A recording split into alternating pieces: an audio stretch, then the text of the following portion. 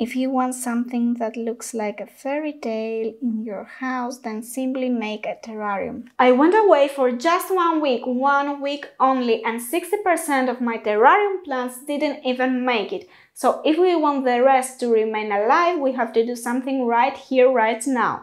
We are going to remove any dead plants, we are going to add some new ones and fix the substrate because it is a mess. Also, we are going to talk about some common houseplants that you can use to make a terrarium and why you should try to make a terrarium if you are a plant parent that haven't tried it yet. So now let me show you what we are facing today so I can prepare you. This is the terrarium at the back right corner we have an asparagus fern which is almost all yellow. The fern on the back I think that is completely dried out. I don't know if this can be saved. The calathea for some reason and the spider plant are doing great. They are thriving, which is weird. And the ivy in the front is completely dead. I didn't have any hopes on this because it was struggling from the day that I bought it. Oh, look, a shrimp! Anyway, let me move the terrarium to a better place and start working on it to revive it. Long story short, I had to go out of town for some things for a week and I didn't get the chance to take care of my plants before leaving, so my anxiety was right because indeed I had some problems when I returned. Okay, first of all, let's remove the ivy. It is completely dead. What is this? Completely dead. Look at this mess. This asparagus fern was doing really well. If I didn't forget to water it, it would still be fully green. You should never postpone taking care of your plants because if they end up like this, I'm sure that you will regret it. Some leaves from the calathea are also dead, so it needs some pruning. Let me also remove this moss wood. Right now I want to remove the bulk of the yellow parts of the asparagus fern. If your branches are still green, don't remove them even if the leaves are yellow because they might give you some new growth.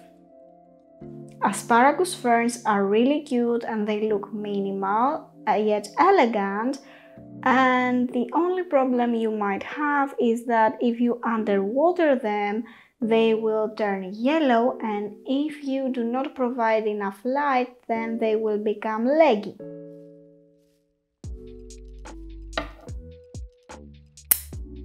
Terrariums are wonderful, you can make so many things, you just need to be creative, you can create mini deserts, you can create forests, you can create mountains, whatever you can imagine, there is a way to create it into terrariums. So don't be afraid to create a terrarium, just try a lot of times and experiment and see what fits you the best and what type of terrariums you like the most. For example, I know that I love a lot of mosses in my terrariums, so maybe I will create an only moss terrarium in the future. Open terrariums are easier than closed terrariums because in closed terrariums you have to set the humidity right. If you do it wrong, then your plants will rot before you even know it.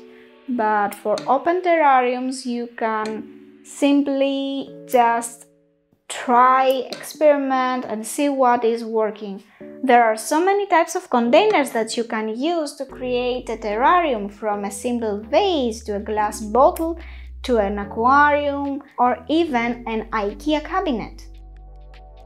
Anything that is yellow won't come back to life so we can remove it. Asparagus ferns are great plants for terrariums because they love humidity. Almost everything looks dead.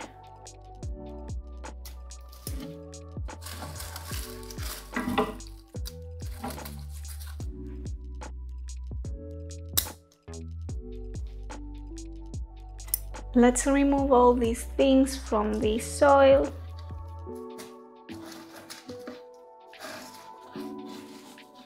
Continue removing.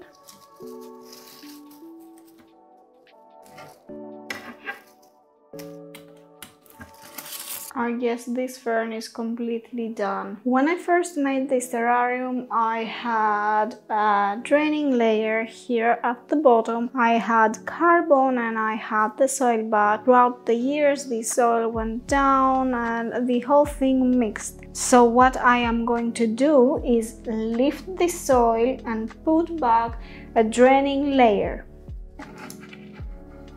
Here at the front I have no roots at all.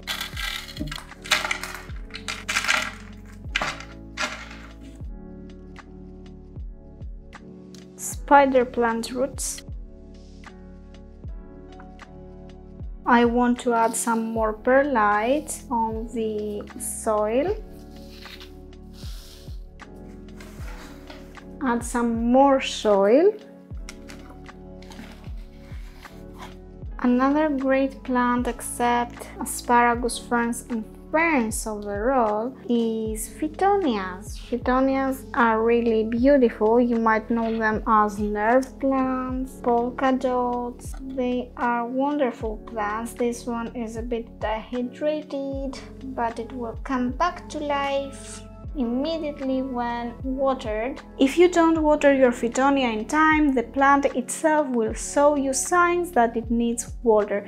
The leaves will start to droop and curl. Fittonias are the easiest plant maybe on the list because they just don't need anything. They just need a lot of water in order to thrive. I am going to plant a new fern there on the back Ferns are my favorite plants because they have so many types, they look so green, they are just wonderful and they love humidity. Let's break the dirt a bit. I guess it's looking good here. If you want something really tropical, then parlor palms are your best friend. Now let's break the roots not the roots. Let's break it apart. Parlor palms are like asparagus ferns. They love humidity and enough light for them to grow. If it wishes to be divided, did it. Let's open a space here for it to live.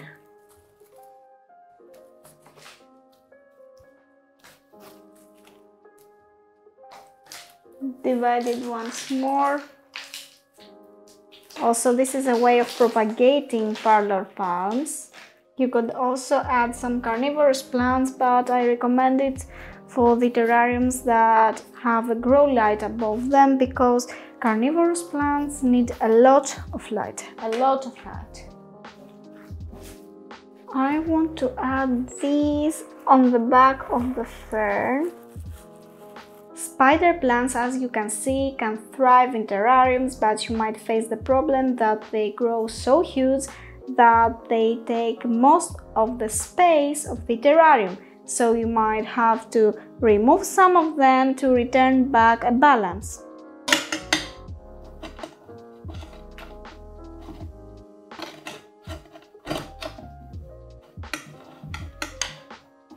Something that I would love to add in the future is a small Pilea aluminum plant because they look amazing. They make the terrariums look special. Pileas like aluminum plant are just like Fittonias, they just need a lot of water and they look wonderful. A great way to add that spice in your terrariums. Calatheas are unique and they absolutely steal the show because they have so many patterns and colors and you can make really great combinations. They make great additions for terrariums because they love moisture. These are pine chips that I am adding right now.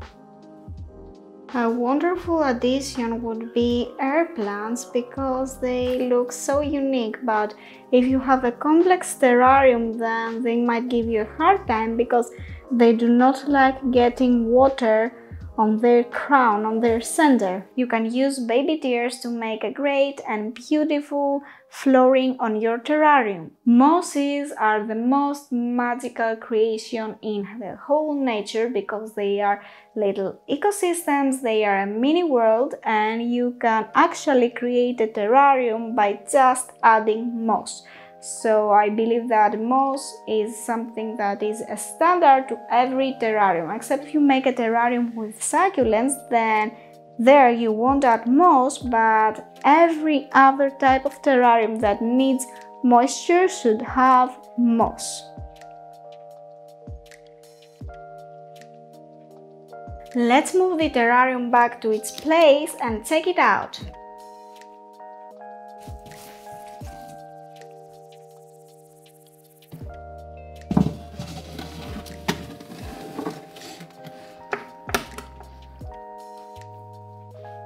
It is actually pretty simple to make terrariums, you just need a draining layer, your substrate and your plants that love humidity. If I water my terrarium and see that there is already a layer of water here, then I won't water it more. I will simply wait for the water to evaporate and go back to the soil and then re-water it. If you love fairy tales, then terrariums are the best hobby for you.